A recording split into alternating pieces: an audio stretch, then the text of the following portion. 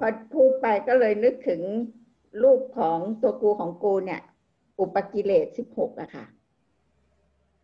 อยากจะให้เราเไปศึกษาดูว่าท่านให้คำอธิบายเป็นตัวอย่างอะไรที่เราเจดจำแล้วก็เอาใส่เข้าไปในใจอะฮะ ไม่ใช่ให้เป็นความคิดอะค่ะ แล้วมันก็จะได้นั่นขึ้นไปไปได้อย่างถูกต้อง เพราะท่านอธิบายไว้อย่างชัดเจนมากในไอตัวกูของกูนะคะ อุปกิเลสป้าหน่อยจะไม่ไม่ไม่อ่านทบทวนนะนะแต่ก็พอดีคิดว่าในหนังสือตัวกูของกูที่มีมีไอความความความน่าสนใจอะค่ะ ในแง่ของป้าหน่อยเนี่ยก็คือเราเราควรจะศึกษาตามที่ท่านยกตัวอย่างมา แล้วก็เอาเข้าใส่ในออกมาจากใจไม่ให้ออกจากความคิดอะค่ะ แล้วก็จะทำให้เราแก้ไขตัวเองได้ดีขึ้น แล้วก็อันอันที่สุดท้ายที่ท่านท่านพูดก็คือว่าสักแต่ว่าน่ะ คือมันเราถ้าเราไม่ นั่นได้ก็คือสักแต่ว่าเนี่ยคำว่าสักแต่ว่าที่ท่านอธิบายในบทท้ายๆอะค่ะคำว่าสักแต่ว่าเนี่ยมันจะทำให้เราเดับทุกข์ได้ได้ดีที่สุดอะค่ะ คิดว่านะคะ อันนี้สำหรับตัวเองค่ะ ไม่ได้มีภาษาบาลีอยู่ในสมองหูดับ หรือว่าขาดความขาดสิ่งยึดมั่นในใจ และไม่รู้ว่าจะหา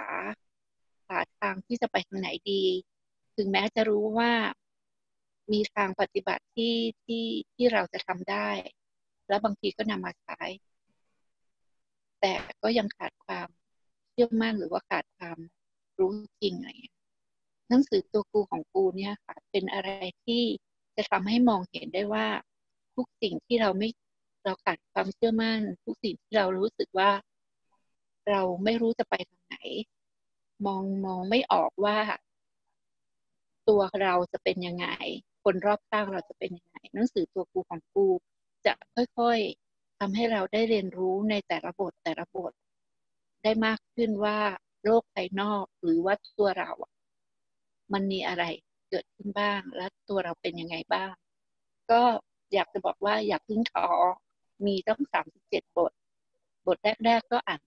อนก็ได้นะคะ แล้วก็ค่อยค่อยลงลึก แล้วสุดท้ายเมื่อถึงบทสุดท้าย แล้วจะจะทุกคนจะรู้สึกว่า อยากจะกลับไปอ่านบทแรก ๆ อีกครั้งหนึ่ง เพราะว่าหัวใจสำคัญจริง ๆของตัวกูของกูอะได้สรุปไว้ในช่วงแรก ๆ ของของหนังสือแล้ว เพราะฉะนั้นค่อยๆอ่าน ค่อยๆเรียนรู้นะคะ อย่าท้อตรงไหนติดขัดก็อ่านไปก่อน ไม่ต้องไปทำความเข้าใจกับมันมาก แค่เข้าใจว่าตรงนี้คืออะไรเพราะนั้นก็พอเพราะมันจะเป็นหนังสือที่ทำให้เราได้มองเห็นตัวเราเองได้มากที่สุด และใช้ได้จริง ถ้าคุณจะลองใช้ถ้าเรากำลังรู้สึกว่าเราอยากเห็นตัวเราเองชัดขึ้น หรือเราต้องการรู้จักตัวเองอะค่ะ ก็แนะนำหนังสือตัวกูของกู เราจะเหมือนจะเห็นตัวเองชัดขึ้น แล้วก็จะเข้าใจตัวเองมากขึ้น แล้วเราจะรู้คำตอบว่าเหมือนเออเราเกิดมาทำไม แล้วเราจะเกิดแล้วเราอะเกิดมาเพื่ออะไร ชีวิตที่จะดำรงต่อไปอะเราจะดำรงมันต่อไปยังไงเงี้ยค่ะเออในหนังสือเล่มนี้ก็จะมีคำตอบให้เรา เพราะจริง ๆ แล้วเนื้อหามันก็คือเรียบเรียงมาตั้งแต่บทที่หนึ่งจนถึงบทสุดท้ายอะ่ะมันก็คือท่านพุทธทาสท่านเรียบเรียงมาได้ได้ดีมากเลยอะค่ะ ถ้าได้อ่านก็ก็จะเข้าใจตัวเองมากขึ้น